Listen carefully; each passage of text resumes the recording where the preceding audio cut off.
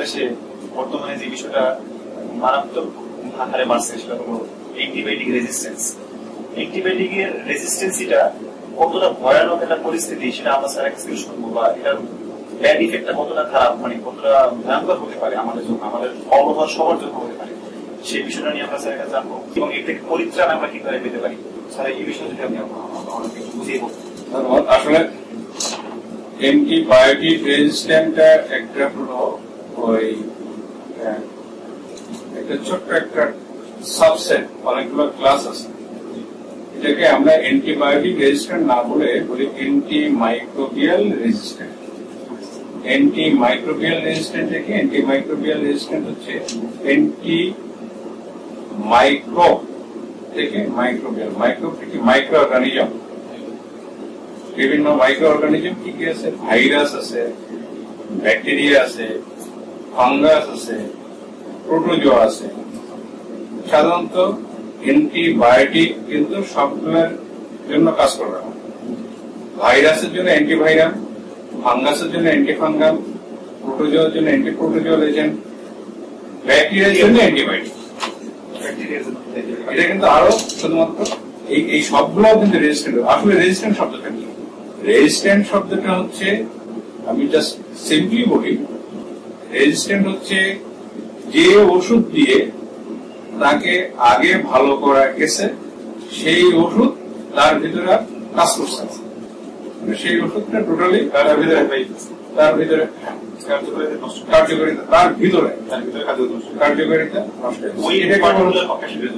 দেখা গেল যে একটা ব্যাকটেরিয়ার যে ব্যাকটেরিয়াটা একজন মানুষের শরীরে প্রবেশ করছে ওই ব্যাকটেরিয়াটা যে ওষুধ দিয়ে ঠিক করা গেছে, পরবর্তীতে ওই ওষুধটা ওই ব্যাকটেরিয়া মানে ওই ওষুধটার ওই ব্যাকটেরিয়া কাজ হচ্ছে অ্যান্টিবায়োটিক রেজিস্ট্যান্ট আসলে ভয়াবহ আকারে শুরু হয়ে গেছে বিশেষ করে আমাদের এই মানে লো সোশিও ইকোনমিক যে কান্ট্রি গুলো আছে, সেই কান্ট্রি এর অনেকগুলো কারণ হচ্ছে দেখবেন আপনি উন্নত দেশে দেখবেন যে কোন রকম রেজিস্টার্ড ডক্টরের প্রেসক্রিপশন ছাড়া নট অনলি অ্যান্টিবায়োটিক অন্য কোনো মেডিসিন কিন্তু। আমাদের দেশে আমাদের দেশে অ্যান্টিবায়োটিকের যথেষ্ট ব্যবহার এবং খুব সহজলভ্য প্রত্যেকটা ফার্মাসিউটিক্যাল প্রত্যেকটা ফার্মেসিতে পাওয়া যাচ্ছে। এখানে আমাদের যারা রুরাল মেডিকেল প্র্যাকটিশনার আর এমপি যারা বলি গ্রুপ লেভেলে যারা প্র্যাকটিস করেন, ওনারাও হাতের কাছে খুব দামি দামি অ্যান্টিবায়োটিক পেয়ে যাচ্ছেন। অনেক সময় রুগীরা এসে তাদেরকে বলে যে, আমাদের ভালো ওষুধ দেন, দামি ওষুধ ওনার সাথে সাথে ওই দিয়ে থাকেন যেটা তো হয়তো দরকার ছিল না যেটা হয়তো কোনো অ্যান্টিবায়োটিকই দরকার ছিল না। সেই সমস্ত জায়গায় অ্যান্টিবায়োটিক দেওয়া হচ্ছে যাদের এর একমাত্র কারণ সহজলভ্য। এই অ্যান্টিমাইক্রো মানে অ্যান্টিবায়োটিক রেজিস্ট্যান্ট কিন্তু এর অনেকগুলো কারণের জন্য হয়ে থাকে। একটা হচ্ছে সহজলভ্যতা এবং যথেচ্ছ ব্যবহার। দুই নম্বর, আমরা যে সমস্ত মানে খাবার হিসেবে যেগুলো ব্যবহার মিল্ক মাছ, মাংস, দুধ, অনেকে কিন্তু দেখা যাবে যে এই পোলট্রিতে কিন্তু যে অ্যান্টিবায়োটিক ওষুধ তাদেরকে যথেষ্ট খাওয়া ওইখান থেকেও কিন্তু আমরা করছি। দেখবেন বিভিন্ন ফার্মাসিউটিক্যালস কোম্পানি এই অ্যান্টিবায়োটিক যে তৈরি করছে ওই ফার্মাসিউটিক্যালস কোম্পানির যে ওয়েস্ট প্রোডাক্ট সেটা কিন্তু নেচারের মধ্যে মিশে পানিতে মিশে যাচ্ছে মাটিতে মিশে যাচ্ছে ওই সমস্ত মাটিতে আবার আমাদের খাদ্য তৈরি হচ্ছে। হ্যাঁ সবজি হচ্ছে ওই সবজিগুলো আমরা নিচ্ছি তাহলে যথেচ্ছ ভাবে অ্যান্টিবায়োটিক কিন্তু আমরা শুধুমাত্র এই যে মেডিসিন হিসেবে তো নিচ্ছি। এরপরে অ্যান্টিবায়োটিক রেজিস্ট্যান্টের আরও অনেকগুলো কারণ আছে। যেমন আবার আপনি হয়তো শুনে থাকবেন যদি একটা ভাইরাস আমি অ্যান্টিমাইক্রোবিয়াল রেজিস্ট্যান্টের কথা বলি যেমন ডেঙ্গু।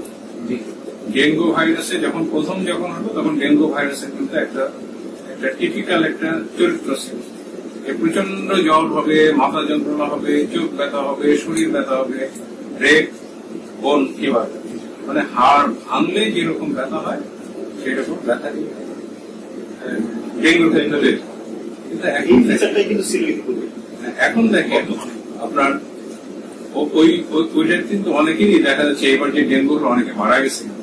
মারা যাওয়ার একমাত্র কারণ কিন্তু ডেঙ্গুর যে নেচার সেই নেচারটা কিন্তু ডেঙ্গু ভাইরাস নিজেই চেঞ্জ করে আমি এই চেঞ্জ করে ফেলার ফলে দেখা যাচ্ছে জ্বর তো বেশি হচ্ছে না গায়ে অত ব্যথা নাই মানে অত বেশি আমলেও নিচ্ছে না, কিন্তু কয়েকদিন পরে দেখা যাচ্ছে খুব খারাপ অবস্থা মারা গেছে। এর একটা কারণ হচ্ছে মিউটেশন মিউটেশনটা কি? মিউটেশনটা হচ্ছে জেনেটিক চেঞ্জ নিজেদের ভিতরে, ওর যে জিনের যে বৈশিষ্ট্য, সেই বৈশিষ্ট্যটা ভিতরে ভিতরে ওরা চেঞ্জ করে চেঞ্জ করে ফেললে রিফর্ম করে জেনেটিক মিউটেশন হওয়ার ফলে কিন্তু ধরা যাচ্ছে এই জেনেটিক মিউটেশন যেমন ভাইরাস ভাইরাসের ক্ষেত্রে যেমন ডেঙ্গু ভাইরাসের এই জেনেটিক মিউটেশন অনেক কিন্তু ব্যাকটেরিয়া যেগুলো অ্যান্টিবায়োটিক আছে, এই ব্যাকটেরিয়ার একটা জেনেটিক মিউটেশন এই জেনেটিক মিউটেশনের কারণে কিন্তু রেজিস্ট্যান্ট হচ্ছে।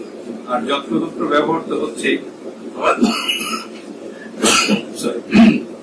অনেক ক্ষেত্রে দেখা যাচ্ছে যে অ্যান্টিবায়োটিক দুই টাইপের আছে।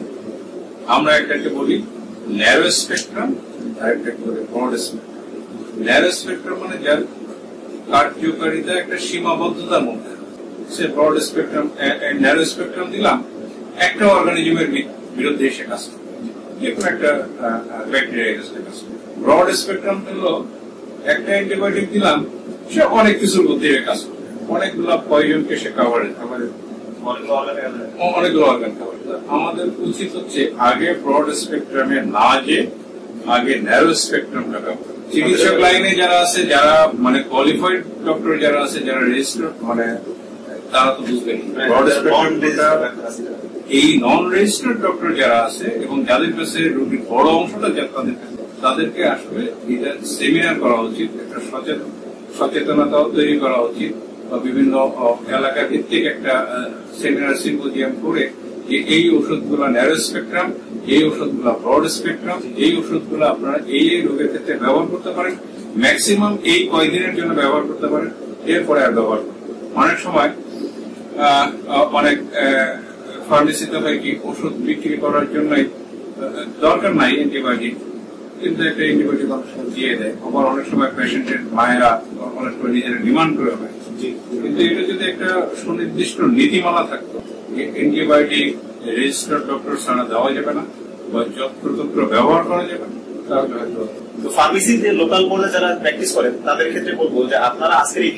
কোনো প্রকার যদি কোনো মানে আপনাদের কাছে আমাদের খারাপ লাগে আমাদের দেখতে, বা আপনাদের কাছে মনে হয় যে আপনাদের বা ব্যাপারটা আসলে তা হয় আপনার চেঞ্জ করে যদি আপনারা দেখেন করেন, যে আমরা কিন্তু সবার ভালোর জন্যই কথা কথাগুলো বলছি, এমনকি ইভেন আপনার পরিবারের কোন চিকিৎসার ক্ষেত্রেও কিন্তু আপনি ভুল করতে পারেন। সেই ক্ষেত্রে কিন্তু আপনার জানা থাকা দরকার যে আপনি আপনার পরিবারের ক্ষতি করতেছেন কিনা, আপনি আপনার নিজের কোনো ক্ষতি করতেছেন কিনা, অ্যান্টিবায়োটিকের ব্যবহার সঠিকভাবে কীভাবে ব্যবহার করা যায়, সঠিক ব্যবহারের নিয়ম নীতিটা কি, সেটা আপনি জানেন, জানা থাকলে আপনার পরিবারেরও কল্যাণ হবে, আপনার অধীনস্থ যারা আছে, আপনার কাস্টমার যারা আছে ক্লায়েন্ট যারা আছে, সবার উপকার হবে। সবার উপকারের স্বার্থেই তো আপনি ব্যবসা করতেছেন, শুধু ব্যবসা তো টাকাই নয়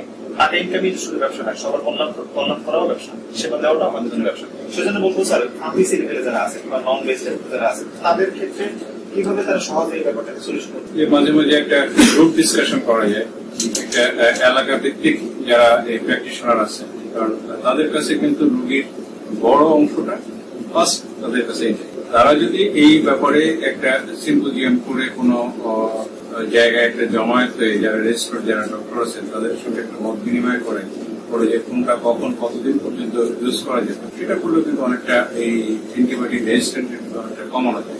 আশা করি স্যার তো অনেক স্যারের অনেক পরিচিতি আছে, অনেক সুপরিচিতি আছে, স্যারকে অনেকে চেনেন অনেকে শ্রদ্ধা করেন। তো স্যারের কাছ স্যারের কাছ থেকে আপনার সেই বিষয়টাকে একটু শুনি, যে আসলে ডোজ ও ডিউরেশনের ক্ষেত্রে আমরা যে যতটুকু আমাদের দিই, এক হলো যে আমরা কতটুকু দিতে পারব, আমাদের কোন কোন অ্যাক্টিভিটি দেওয়া উচিত, না না উচিত, সেই বিষয়টা আমরা নিয়ে সিম্পোজিয়াম বা সেমিনার করা উচিত। অথবা এটা তো বললামই, যদি এখন তো নাও হয়, কতটুকু সম্ভব বা যে অ্যান্টিবায়োটিকগুলো আমরা প্রেসক্রাইব করি বা আমরা নিজেরা দিয়ে থাকি, সেই ব্যাপারে কি নিয়ম একবার, শক্তভাবে কি নিয়ম পালন করা উচিত রোগীকে কি, কীভাবে অ্যাডভাইস করা উচিত, সেই আপনাকে, আসলে এই ডোজ এবং ডিউরেশন অসুখ ভিত্তিক এক এক রকম। আমরা ম্যাক্সিমাম ক্ষেত্রে আসলে দেখা যায় যে ডোজ এবং ডিউরেশন একেবারেই মানে এটা মানে আশঙ্কাজনক ভাবে আমাদের, আমরা মিস ইউজ করে থাকি। সাধারণত আমি একটা জাস্ট একটা উদাহরণ দিচ্ছি। আমাদের যে অনেক অ্যান্টিবায়োটিক আমার হাতের কাছে পেয়ে থাকি। এই অ্যান্টিবায়োটিকের ট্যাবলেট ফর্মুলা একরকম, আবার সিরাপের ফর্মুলা একরকম। যেমন যদি আমরা কোনো টাইফয়েড রোগ টাইফয়েডের যদি চিকিৎসা দিয়ে থাকি, তাহলে টাইফয়েডের এগেনস্টে কাজ করে অনেক টাইপের অ্যান্টিবায়োটিক সেই অ্যান্টিবায়োটিক দেওয়ার ধরনও কিন্তু আমরা নর্মালি যে অ্যান্টিবায়োটিক দিই টাইফয়েডের ক্ষেত্রে তার ডাবল ডোজ এবং ডাবল ডিউরেশন সে আমরা যদি নর্মাল কোন অ্যান্টিবায়োটিক অন্য অসুখের যে অন্য জ্বরের ক্ষেত্রে এক সপ্তাহ দেই, তাহলে টাইফয়েডের ক্ষেত্রে মেডিসিন বুঝে সেটা কিন্তু দুই সপ্তাহ দিতে হবে এবং ডোজটা কিন্তু ডাবল করতে হবে। আবার যেমন আমরা যদি সিপ্রোফ্লোক্সাসিন দেই, তাহলে দুই সপ্তাহ দিতে হবে। আবার যদি অ্যাজিথ্রোমাইসিন দেই double dose double duration azithromycin সাধারণত তিন দিন দেই আমরা সেই ক্ষেত্রে টাইফয়েডের ক্ষেত্রে তিন দিন থেকে বাড়িয়ে ছয় দিন দিব। ডোজটাকে প্রথমে যে ডোজটা ছিল সেই ডোজটাকে দ্বিগুণ সবচেয়ে ভয়াবহ যে রোগটা হয়, সেটা হচ্ছে নিউমোনিয়া এবং আমাদের বাচ্চারা খুব নিউমোনিয়া মানে হরামেশায় নিউমোনিয়ার ক্ষেত্রে যে অ্যান্টিবায়োটিক আছে, প্রত্যেকের কাছে অত্যন্ত সহজলভ্য সেই অ্যান্টিবায়োটিক একদম হাতের লাগালেই আছে। কিন্তু আমরা সেটা সঠিক ব্যবহার না করার ফলে এই নিউমোনিয়াটা খারাপ হয়েছে। কেমন? যেমন নিউমোনিয়ার ক্ষেত্রে যদি আমরা সেফটি একজন দিয়ে থাকি, তাহলে নিউমোনিয়া যদি হয়ে থাকে, তাহলে সেফটি একজনের ডোজ দিতে হবে হান্ড্রেড মিলিগ্রাম পার কেজি। এক কেজিতে হান্ড্রেড মিলিগ্রাম দিতে হবে। সেই ক্ষেত্রে একটা এক বছরের বাচ্চা যার ওজন দশ কেজি, তাকে কিন্তু এক গ্রামই দিতে হবে, এক গ্রামে কম দিলে হবে আমাদের প্র্যাকটিশনাররা কি করে? এক বছরের বাচ্চা এক গ্রাম দিব, এক গ্রাম ইঞ্জেকশন দিব, দিতে গেলে কিন্তু ভয় পায় সেক্ষেত্রে দেখা গেল যে পাঁচশো দিয়ে শুরু করে আমি এমনও দেখেছি, আড়াইশো দিয়ে শুরু। তাদের বাচ্চার কাজ হচ্ছে না। এই ইনএডিকুয়েট ডোজ দেওয়ার কারণে বাচ্চার অসুখের তীব্রতা বাড়ছে, সঙ্গে সঙ্গে রেজিস্ট্যান্ট এইগুলো জাস্ট আমি জাস্ট তিনটা উদাহরণ দিলাম। এগুলো অনেক উদাহরণ আছে। যেগুলো অনেক ক্ষেত্রে আমাদেরকে অনেক সময় আনওয়ান্টেড সিচুয়েশনে পড়তে হয়। যেমন আমি একটা ছয় মাসের বাচ্চা, যার ওজন নয় কেজি, তাকে আমি নয়শো মিলিগ্রাম দিচ্ছি।